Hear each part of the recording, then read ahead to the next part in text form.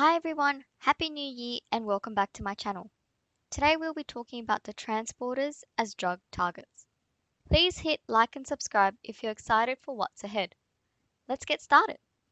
First up, neurotransmitter transporters belong to a family of 12 transmembrane region proteins. This basically means that there are a sequence of helical bundles that span across the phospholipid bilayer membrane. These helices weave in and out of the membrane 12 times to form the transporter protein. With respect to neurotransmitters, there are two types of transporters, one for the presynaptic reuptake and the other for vesicular storage. They're so significant that they both account for about 30% of targets for psychotropic drugs. Now, let's build on our chart.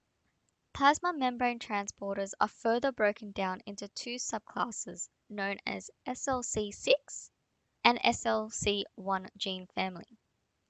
SLC stands for solute carrier, meaning they are ion coupled, in this case, sodium and chloride coupled transporters. The SLC6 gene family involves the reuptake of monoamines, serotonin, noradrenaline, and dopamine via the respective presynaptic transporters.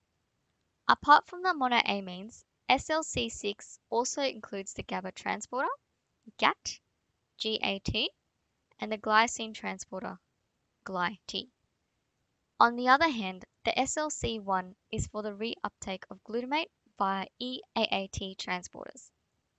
As the gene family name suggests, solute carrier, you can see these transporters are sodium and chloride coupled.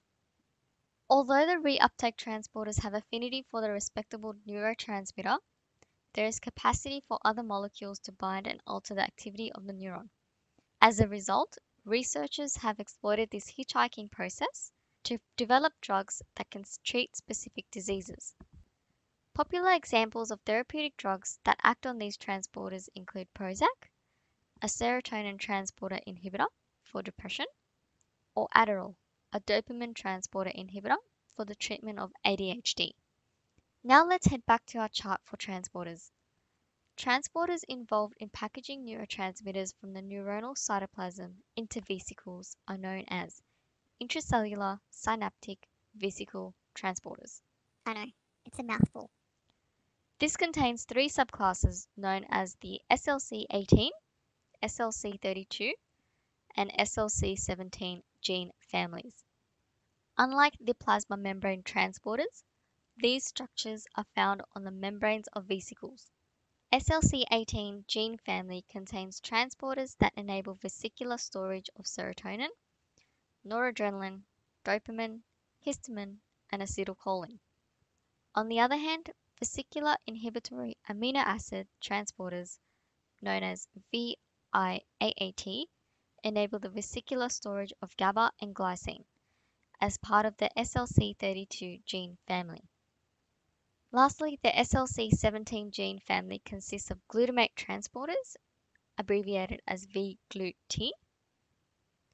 The SLC32 and SLC17 gene families are not popular targets for drugs when compared to the SLC18, the VMATs. In the same manner of exploiting the hitchhiking process, researchers have been able to develop drugs such as tetrabenazine.